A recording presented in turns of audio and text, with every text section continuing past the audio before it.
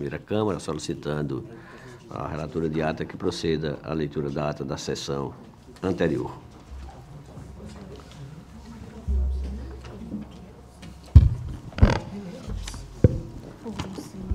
A ata da 22ª sessão ordinária da primeira Câmara do Tribunal de Contas do Estado de Alagoas.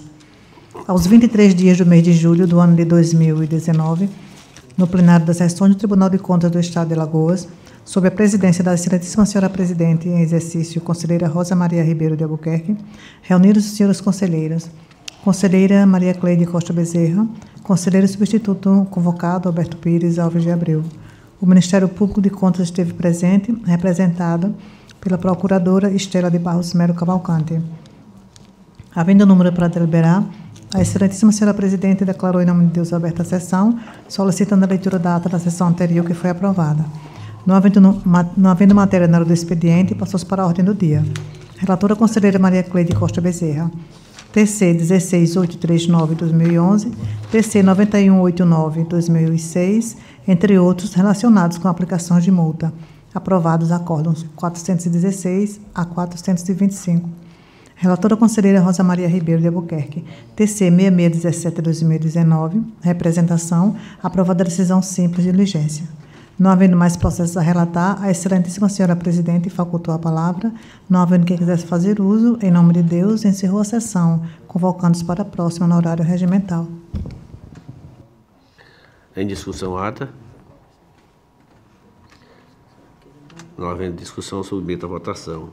Os conselheiros e conselheiras que estejam de acordo permaneçam como estão. Só, só para registrar que eu não, é, não participei da sessão.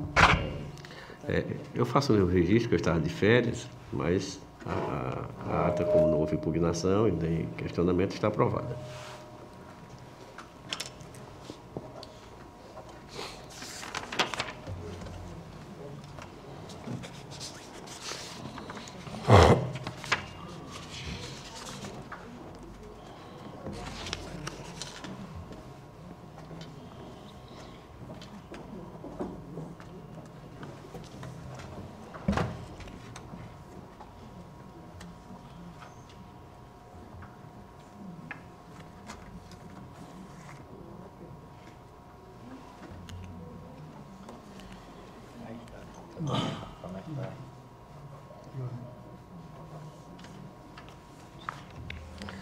Na hora do expediente, concedo a palavra a Vossas Excelências. Não tendo quem dela queira fazer uso, passamos à ordem do dia para relatar pela ordem a conselheira Rosa. Presidente, estou sem pauta para esta sessão. Pela ordem para relatar com a conselheira substituta, doutora Ana Raquel. Senhor presidente, senhora conselheira, senhor conselheiro, doutor membro do Ministério Público de Contas. Senhor presidente, eu trago dois processos, são representações. São representações que eu já relatei algumas vezes, mas eu não tenho certeza se eu relatei nessa Câmara, que são os processos referentes a denúncias do foco com relação ao uso de verbas do Fundef. Eu vou ler o relatório. Se Vossas Excelências entenderem que, que é necessário ler todo o processo, eu leio a análise também leio o voto ao final. Se recordarem, eu leio só, passo só para o dispositivo do voto. Okay? É o processo TC 2164 de 2018. Trata-se de denúncia formulada pelo FOCO, Fórum de Combate à Corrupção de Alagoas, em face do município de Carneiros. A presente denúncia notifica, notif, noticia que o TRF da Quinta Região estaria prestes a liberar, ainda em 2017, valores superiores a um bilhão de reais a diversos municípios alagoanos, através de precatórios decorrentes de ações que tratam do Fundef, requerendo ação preventiva com o intuito de garantir que essas verbas sejam destinadas apenas à área da educação. Pleiteou o denunciante a, cautelarmente, a suspensão da utilização dos recursos oriundos dos precatórios de Fundef por parte do município, até a deliberação do pleno deste tribunal quanto à efetiva destinação dos mesmos, a adoção de providências no âmbito do TCAL para fiscalizar os municípios contemplados com recursos oriundos dos precatórios de Fundef, verificando a sua devida aplicação. Visando corroborar suas assertivas, o denunciante colacionou aos autos relatório genérico do Tribunal Regional Federal da Quinta Região, constando relação dos municípios com precatórios oriundos de verbas de Fundef em vias de pagamento, dentre os quais consta o município ora denunciado, Carneiros, informação fornecida pela Subsecretaria de Precatórios do referido Tribunal Regional. Salienta ainda a preocupação com a aplicação dos recursos noticiados, a exemplo do uso indevido e o consequente desvio de finalidade desses valores em situações idênticas por outros municípios. As folhas 13, 18, 13 a 18 dos autos têm-se o parecer número 4488 de 2017, de lavra da 4 Procuradoria de Contas do Estado de Alagoas, no qual pugnou em síntese pela expedição de juízo de admissibilidade com expedição de tutela antecipada para determinar a imediata vinculação dos, dos valores a serem pagos à educação, B. A citação do prefeito do município de Carneiros para exercer o contraditório ampla defesa. C. A remessa dos autos aos órgãos técnicos de instrução deste tribunal. E, por fim, o retorno dos autos ao Ministério Público de Contas para parecer final. Tendo em vista o juízo positivo de admissibilidade da presidência desta Corte, os autos foram encaminhados a esta conselheira relatora na data de 5 de março de 2019, oriundos do gabinete da conselheira Maria Cleide Costa Bezerra, em razão da nova conformação de relatorias através do ato número 1 de 2019. Esse é o relatório, senhor presidente. A palavra ao Ministério Público. Senhor presidente, senhora conselheira, senhores conselheiros substitutos, é, uma dúvida inicial, esse é o processo 2164 de 2018? Isso. Sim, é que há o registro aqui de que não passou no Ministério Público, mas no seu relatório eu vi a emissão de um parecer, talvez sejam aqueles processos que, cujos dados se perderam na falha que houve no sistema. Mas ouvindo atentamente o relatório, eu reitero o parecer do Ministério Público, é, no sentido de, de acolher a representação e, e, e aí opinando pela expedição de medidas cautelares, no sentido de resguardar a boa utilização desses recursos do precatório do Fundef. É uma questão que a gente já discutiu muito tempo aqui, muitos anos, e que é, amadureceu ao ponto de já ser pacificada no, no âmbito do, terceiro, do Tribunal de Contas da União e também do STF. Ambos reconheceram aí a, a vinculação desses recursos a, a ações exclusivamente de manutenção e desenvolvimento do ensino fundamental na época, hoje ensino básico. Então esse é o nosso posicionamento. A palavra, conselheira relatora. É, Vossas Excelências desejam que eu faça a leitura do. Bom, é, como já inúmeras vezes relatado e lido quanto à questão da, do cabimento da, ou não das verbas com relação à educação, é, com relação à medida cautelar, nós verificamos que esse, esse esses municípios eles estão com a verba bloqueada pela justiça. É, eu, vou, eu vou ler aqui a parte da, da cautelar. Pugna o denunciante pela concessão da cautelar para que sejam adotadas providências por essa presidência em caráter cautelar, com a devida urgência, no intuito de suspender a utilização desse recurso por parte dos municípios listados, até a deliberação pelo pleno deste tribunal no tocante à destinação dos mesmos.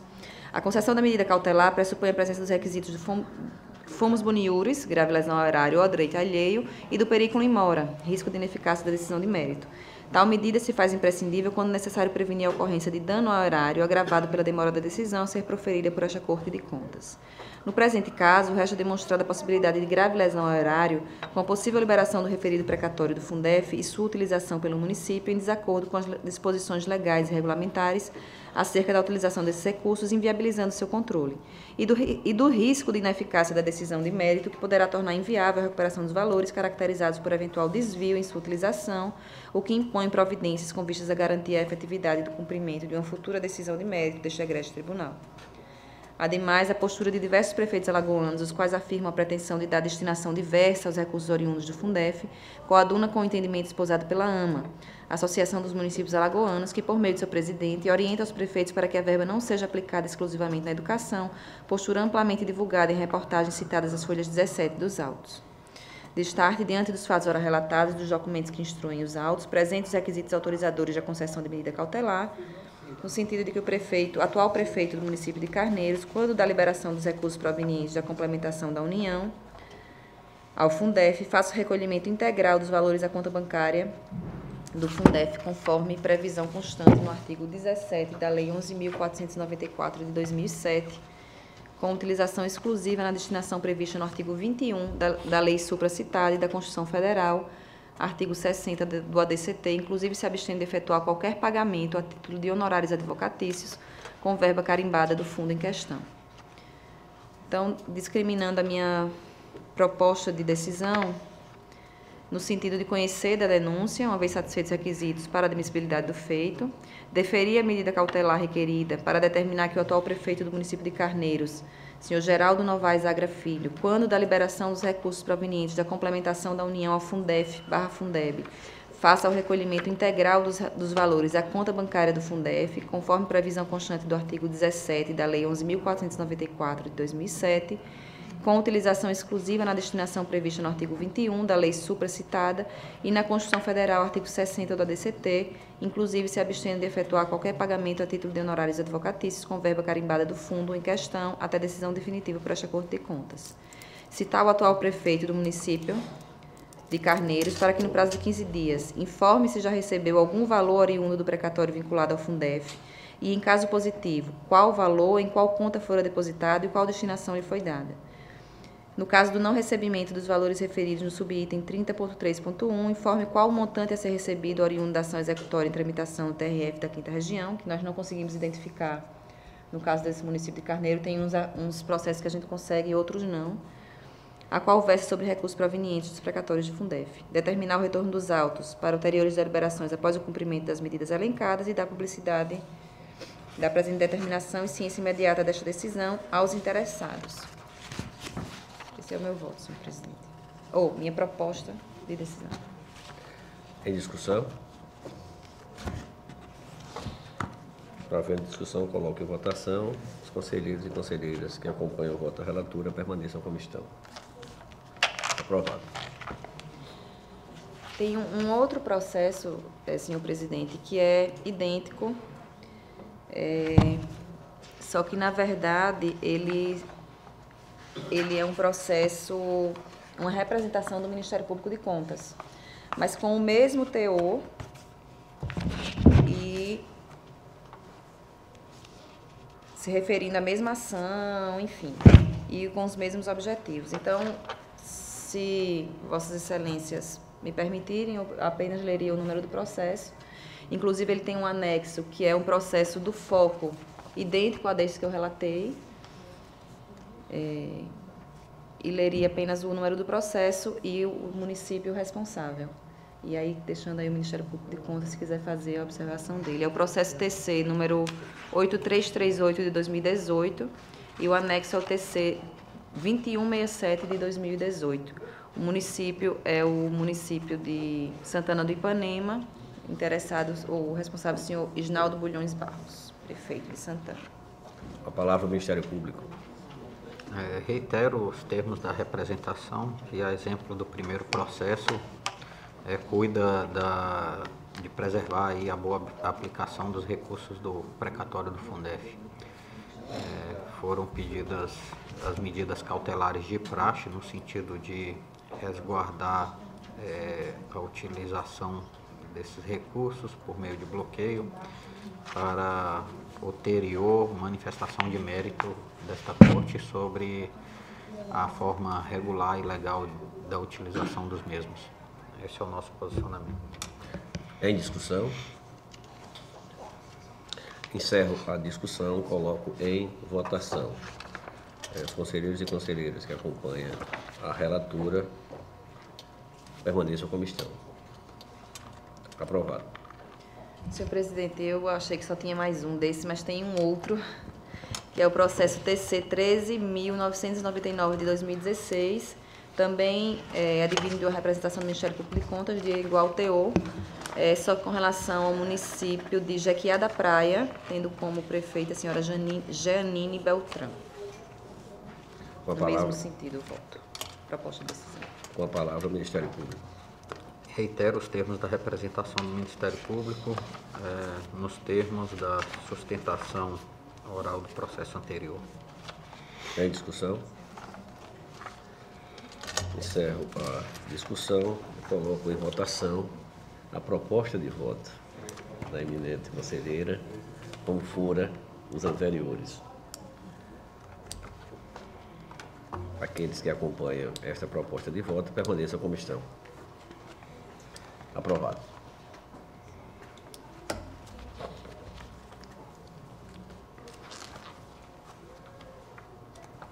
Senhor presidente, eu tenho alguns processos agora de contas. É, vou relatar primeiro dois deles, que são processos que, em que houve apresentação de defesa e que o meu voto é no sentido de, do não acolhimento da, da defesa apresentada. É o TC número 13.194 de 2015. O gestor é o senhor José Medeiros Nicolau, prefeito do município de Barra de São Miguel. E a irregularidade foi que ele enviou fora do prazo a cópia do contrato CP número 1 de 2015 com a empresa Anne Cristine de Melo Cavalcante. É, na, na, verdade, na ele foi citado e na defesa dele, é, ele apenas, na defesa não, na resposta dele, ele apenas encaminhou o contrato, mas não fez nenhuma defesa ou juntou qualquer documento relativo a que justificasse a sua omissão. O Ministério Público de Contas também se manifestou pelo não acolhimento da defesa e eu trago voto no sentido da aplicação da multa de 100 UPFAUs. E o TC número 13.192 de 2015, também é o mesmo gestor, José Medeiros Nicolau, e enviou fora do prazo a cópia do contrato é, é o mesmo contrato, só que é, são termos aditivos. É o CP 2015.4, com a empresa Cooperativa de Produção Leiteira de Alagoas Limitada. Não sei se é o mesmo contrato, se é a numeração apenas que número muda só no final. Enfim, é, da mesma forma, ele, ele trouxe resposta, mas na sua resposta ele apenas juntou o contrato que não havia sido entregue e não apresentou nenhuma defesa com relação a sua omissão. E também, nesse caso, é, eu voto pela manutenção da multa de 100 falsos. Com a palavra, o Ministério Público. É, reitero os dois pareceres do Ministério Público, é, em ambos é, que opinaram pela aplicação de multa ao gestor, dada a omissão verificada. Em discussão? Encerro a discussão, coloco em votação a proposta de voto em relatura. Os conselheiros e conselheiras que estiverem de acordo permaneçam como estão. Aprovado. Tenho para relatar agora é, mais dois processos de aplicação de multa é, em que houve defesa. Um deles é o processo 3779 de 2018. O gestor, senhor Jairo José Campos da Costa, gestor da Universidade Estadual de Alagoas, UNEAL. É, ele enviou fora do prazo o balancete que corresponde às obrigações do mês de janeiro de 2018. É, em sua defesa, o gestor é, comprovou que ele encaminhou o balancete mensal por meio físico dentro do prazo. É, Dessa forma, o meu voto é no sentido de afastar a aplicação da multa. É, o outro é o TC 10.376 de 2018.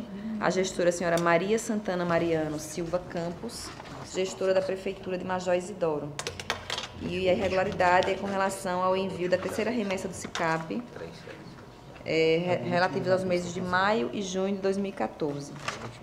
E em sua defesa, ela sustentou que estava afastada de suas atividades na condição de chefe do Poder Executivo, não exercendo o cargo no período que corresponde ao envio da terceira remessa do SICAP do exercício 2014, e que o gestor responsável à época, o senhor Arnaldo Jerônimo Soares, é, ela juntou inclusive o termo de posse nos autos, é, faleceu conforme certidão de óbito em anexo nos autos. É, dessa forma, meu voto também é pelo afastamento da multa e, nesse caso, é, pela não geração de um novo processo com relação ao responsável, já que a multa é personalíssima e não fazia sentido abrir um processo que a gente já sabe que o responsável faleceu. O outro processo é o processo TC 7409 de 2018, do senhor Galba Novaes de Castro Neto, do Fundo Estadual de Defesa do Consumidor, Fundecom, com relação à irregularidade com relação ao envio da cópia do balancete dos meses de março, do mês de março de 2018. E em sua defesa, ele sustentou que a constituição jurídica do Instituto somente foi deferida em 2 de abril de 2018 momento em que iniciou os procedimentos necessários para a viabilização de acesso aos novos gestores para a execução das obrigações junto ao Tribunal de Contas. Em todos os autos, há o parecer do Ministério Público de Contas, no mesmo sentido do acolhimento da defesa dos responsáveis, e o meu voto em todos eles é pelo afastamento da aplicação da multa. Com a palavra o Ministério Público. É, uma dúvida antes, é, conselheira, é, são três processos? São sim? três processos. Ah, tá. É, coincide aqui com minhas anotações. Eu reitero os três pareceres do Ministério Público, em todos é, o Parque de Contas opinou também pelo acolhimento da defesa, não aplicação da multa e arquivamento dos autos. Em discussão? Encerro a discussão e coloco em votação as propostas de voto da eminente conselheira. Os conselheiros e conselheiras que estiverem de acordo com a proposta de voto, permaneçam a comissão. Aprovado. Por último, senhor presidente, eu tenho processos relativos a aposentadorias e pensões e vou fazê-los como de praxe em lista, além apenas o número do processo e o, e o beneficiário. É, essas aposentadorias que eu vou relatar agora são todas aposentadorias voluntárias com proventos integrais. O processo TC 1273 de 2017, da senhora Edilza Márcia Santos de Araújo Barros. TC 6403 de 2017, da senhora Leide Maria Ferreira de Lima. TC 16555 de 2017, da senhora Maria Mazarello Duarte de Holanda Barbosa. TC 2909 de 2017, da senhora Maria Edith Souza de Moura. TC 1982 de 2019, do senhor Humberto Vieira Souza. TC 570 de 2019, da senhora Quitéria de Almeida Vasconcelos. TC 8010 de 2017, da senhora Geralda Alves de Souza. TC 4640 de 2017, da senhora Solange Gomes de Moura Cavalcante. TC 6390 de 2017, da senhora Anísia Alves da Silva. TC 6805 de 2017, da senhora Maria José Santana. TC 6470 de 2017, da senhora Arlete Moreira dos Santos. TC 17515 de 2017, da senhora Laíre Pereira da Silva. E o TC 11.912 de 2014, do senhor José Domingos da Silva. Os seguintes se referem a aposentadorias voluntárias especiais de magistério. TC 6419 de 2017 do senhor José Cícero Tenório da Silva, o TC 14983 de 2017 da senhora Maria das Dores Oliveira, TC 3932 de 2017 da senhora Marli Oliveira de Menezes, TC 13442 de 2016 da senhora Maria do Socorro Cavalcante, Cavalcante de Amorim. Tem também duas apostadorias voluntárias com proventos proporcionais, que é o TC 11.778 de 2018, da senhora Josefa Ferreira da Silva, e o TC 3940 de 2017, do senhor Vanildo Alves de Lisboa. E alguns auxílios pensões por morte, que é o TC 10.025 de 2018, beneficiário o senhor José Antônio Cavalcante, esposo da ex-servidora Maria Vanilda da Silva Cavalcante, TC 1058 de 2018, beneficiário senhor Antônio Rodrigues dos Santos, esposo da ex-servidora Lucia Almena dos Santos. TC 8049 de 2017, beneficiário senhor Jorge Fulgêncio dos Santos, companheiro da ex-servidora Maria Adelina dos Santos. TC 12718 de 2017, beneficiária senhora Maria de Fátima da Silva França, esposa do ex-servidor Gelto Farias de França. TC 13.225, 2018, beneficiário senhor Anatole dos Santos Gonçalves, esposo da ex-servidora Claudir Maria Menezes Gonçalves. E, por último, TC 15.875, 2018, beneficiária senhora Maria Aparecida da Silva, esposa do ex-servidor, senhor Geraldo Francisco da Silva. Em todos os processos, houve parecer do Ministério Público de Contas, opinando pelo registro dos atos, e o meu, minha proposta de voto é no mesmo sentido, de que essa Câmara ordene o registro dos decretos portarias que concederam as aposentadorias e as pensões ora, ora relatadas, da ciência das decisões ao Alagoas Previdência, ao FAPEM, enfim, a todos os órgãos de previdência respectivos e determinada a evolução dos respectivos processos administrativos originais ao órgão de previdência, certificando tal providência nos autos dos processos em epígrafe. Esses são os meus minhas propostas de voto, senhor presidente. A palavra o Ministério Público. É, reitero todos os pareceres do Ministério Público. É, em todos os casos, é, o Ministério Público opinou é, pela regularidade nos atos de concessão das pensões e das aposentadorias e, e, pelo, e também opinou pelo respectivo registro. Então, reitero o termo de todos os pareceres. Tem discussão? Encerro a discussão, coloco em votação. Conselheiros e conselheiras que acompanham as propostas de voto em eminente relatora, permaneçam como estão. Aprovados. Minha pauta por hoje está encerrada, senhor presidente. Pela ordem para relatar, o eminente conselheiro substituto, doutor Sérgio. Senhor presidente, não tem processo com essa sessão. Passo então a relatar, senhores conselheiros, senhoras conselheiras, senhor membro do Ministério Público, eu tenho aqui um,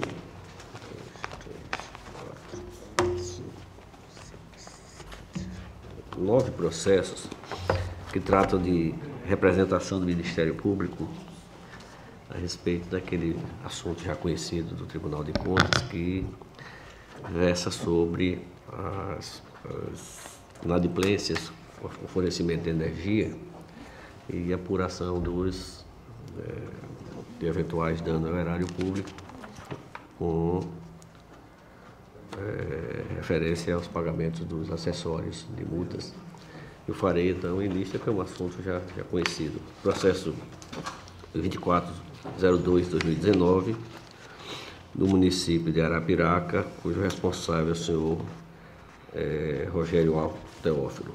Processo 2469-2019, do município de Lagoa da Canoa, responsável senhora Tânia Correia Lúcio de Sá. Processo TC de número 2448-2019, do município de Feira Grande, responsável senhor Flávio Rangel Aposto Lira. Processo TC 2414-2019, do município de Olho d'Água Grande, o responsável é o senhor José Adelson de Souza. Processo TC de número 2477-2019, do município de Taquarana, o responsável é o senhor Sebastião Antônio da Silva. Processo TC 2463-2019, do município de São Brás, responsável é o senhor Marcelo Sandes.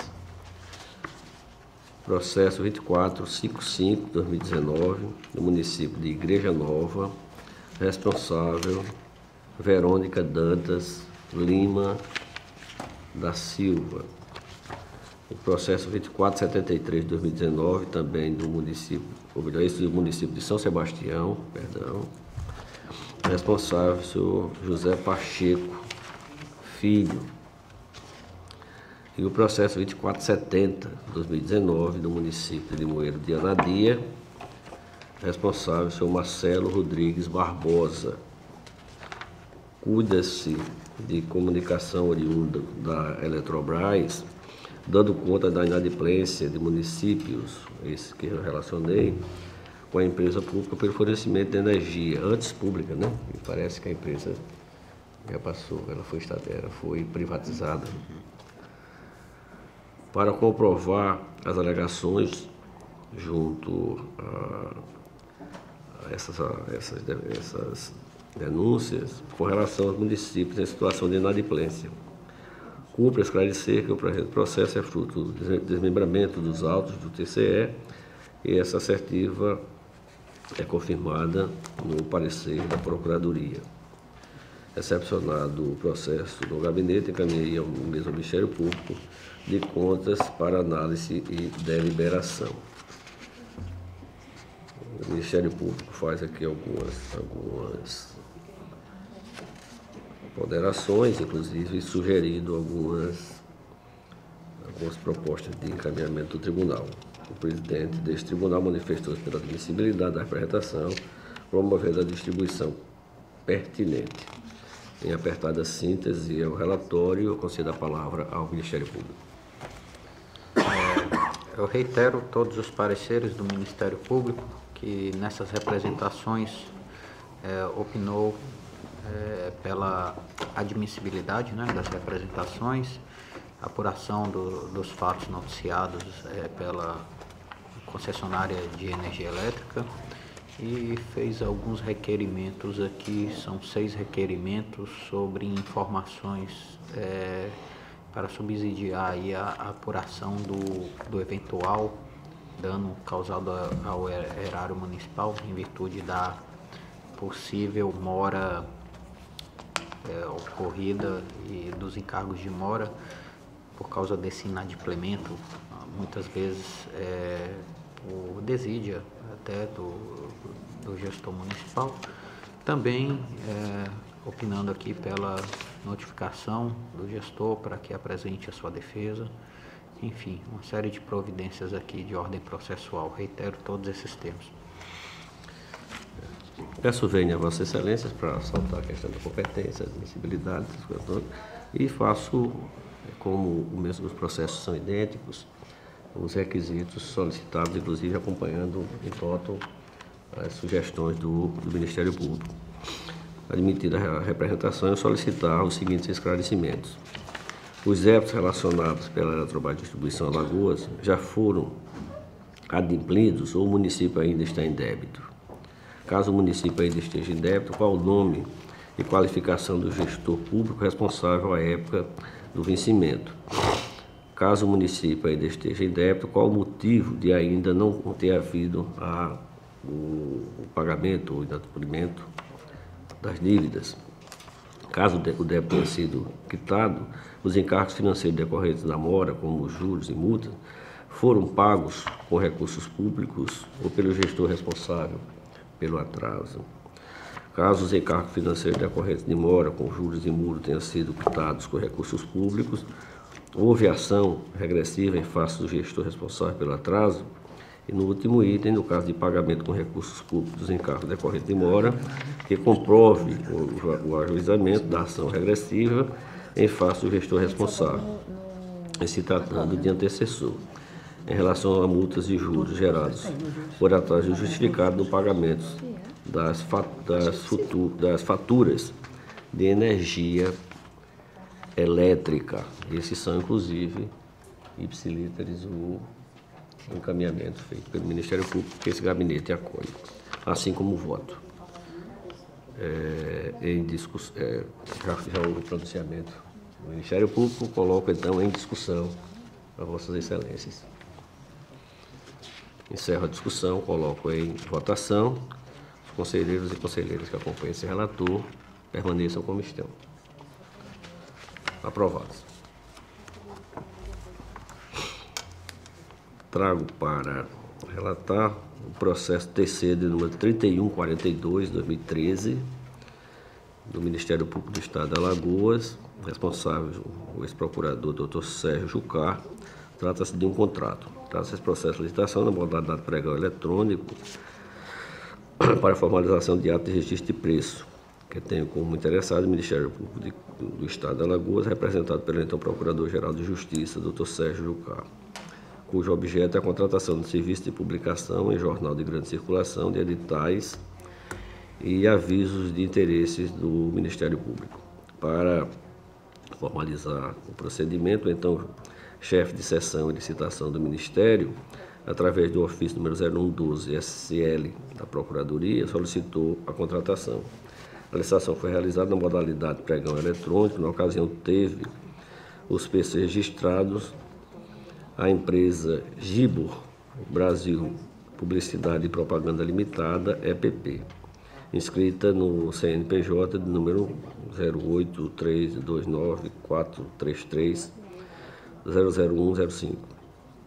Encaminhada a documentação a esta Corte de Contas, Ministério Público de Contas, pelo Procurador de Contas N. Pimenta, exarou parecer de números 1430 2019 e essa e apertada síntese é o relatório, eu concedo a palavra ao Ministério Público. É, reitero o parecer do Ministério Público de Contas, que opinou pela regularidade do, da ata de registro de preço.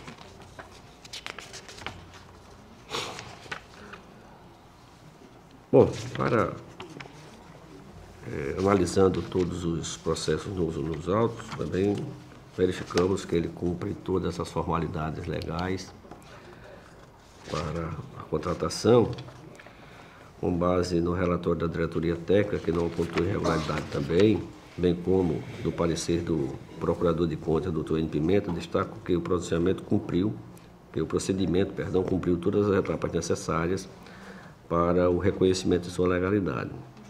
Entre as considerações acima, ponderamos a ausência de vícios no procedimento, decido votar em observância ao artigo 133, inciso 1 do regimento interno dessa Corte de Contas, no sentido de declarar regular o procedimento administrativo para anotar e registrar o contido no processo TC número 3142 de 2013. Este é o nosso voto. Em discussão. Encerro a discussão. Coloco em votação. Os conselheiros e conselheiras que acompanham este relator permaneçam como estão. Aprovado. Trago para relatar o processo TC de número 6807 de 2018, interessado LC, LCS Montagens e Eventos EPP, representado o município de Rio Largo. Trata-se de uma representação. Trata de representação denúncia formulada por e-mail pelos propostos da empresa LCS Montagens e Eventos em face do município de Rio Largo, por suposta irregularidade na condução do pregão eletrônico número 25 de 2018, que teve como objeto a contratação da empresa especializada em montagem de estrutura para eventos, camarotes, palcos e arquibancadas. Recepcionado um e-mail na ouvidoria do Tribunal de Contas do Estado de Alagoas, denuncia a empresa LS Eventos que impugnou itens do edital, contudo, a Comissão de Licitação e a equipe de apoio só respondeu aos questionamentos no dia da sessão e com o certame em andamento.